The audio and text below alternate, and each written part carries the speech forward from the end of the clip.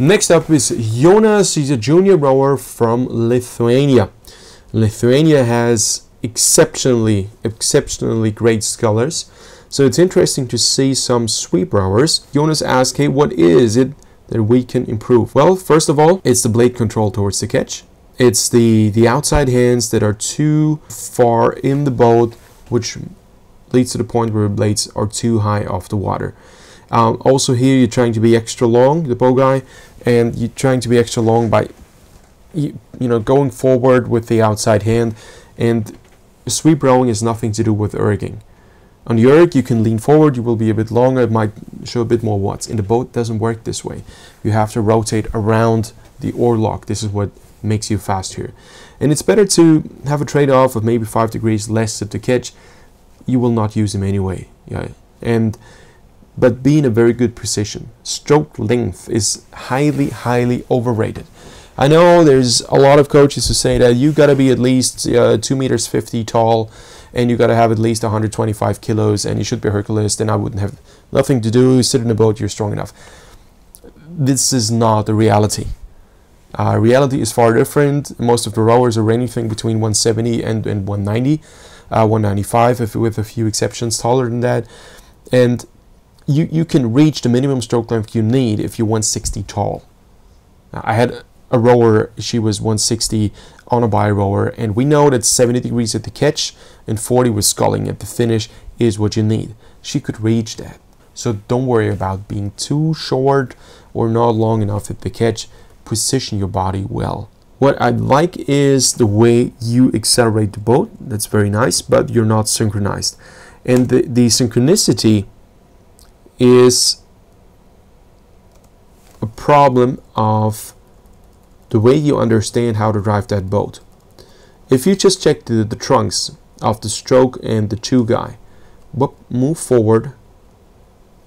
Same with the Greeks. Uh, check the check the analysis of Aggelos just before.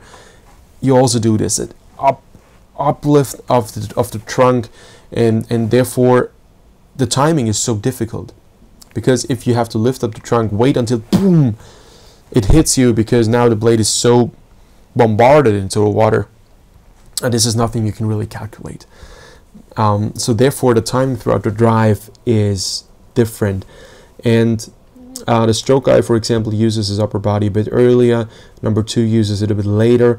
And therefore you actually have a better connection here at, uh, at two seat than a stroke guy and therefore you leave the water a fraction, a fraction later. This is not a bad thing, it's actually a good thing. So this is one thing I realized. What I like very well here, this is this is great. Number three, excellent position at the finish. Elbows lead out. Um, if you see this, this is beautiful. This this elbow here helps him to stabilize the entire trunk. That's good. And also the shoulder girdle seems to me it's in balance with the inboards. So great, that's absolutely good. And I don't see your guys' elbows, but for all of you, this seems to be very good and something your coach seems to seems to emphasize. That's that's a good thing. I really like to see this. As we move forward, now the problem starts. Legs come at different points of time. Well, I suppose you are a different height, but still a bit of synchronicity is is necessary. And then as you move forward. Yeah you, you're using a bit of upper body weight trunk weight to stabilize the boat but that's not effective. You lean too much onto your oar handles and this is the same thing we just had with um, Aggelos before.